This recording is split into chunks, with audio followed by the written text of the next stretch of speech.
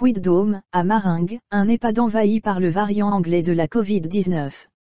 Le Puy-de-Dôme n'est pas épargné par le variant anglais de la Covid-19.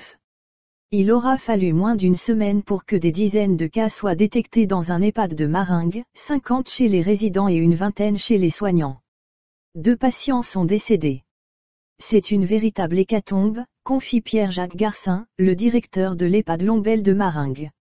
Des mots forts pour parler de la situation catastrophique dans son établissement.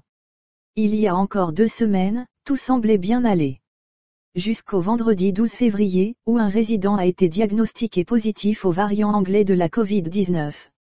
Puis tout s'emballe, la maison de retraite ferme ses portes aux visites, et des tests massifs sont organisés auprès des 140 résidents et des 96 salariés.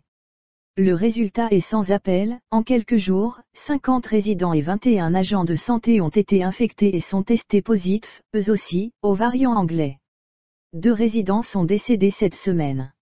Un choc pour les membres du personnel, qui avaient pourtant procédé à une première campagne de vaccination au début du mois de février, pendant laquelle 80% des résidents avaient reçu une première injection du vaccin anti-Covid-19. Aujourd'hui, la situation au sein de l'EHPAD est extrêmement complexe à gérer.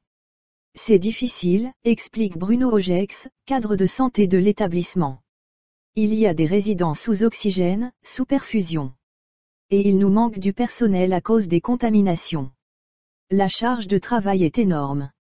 On a dû faire appel à la réserve sanitaire de l'art pour avoir du renfort en personnel soignant, et à l'hospitalisation à domicile 63 qui vient nous aider.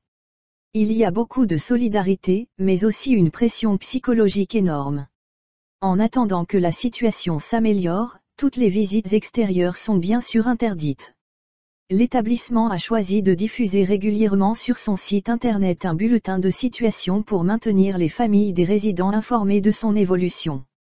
Mais la priorité est actuellement donnée aux soins des résidents, à la mise en place de nouveaux tests de dépistage et au déploiement de la nouvelle campagne vaccinale qui doit avoir lieu les 24 et 25 février dans l'établissement.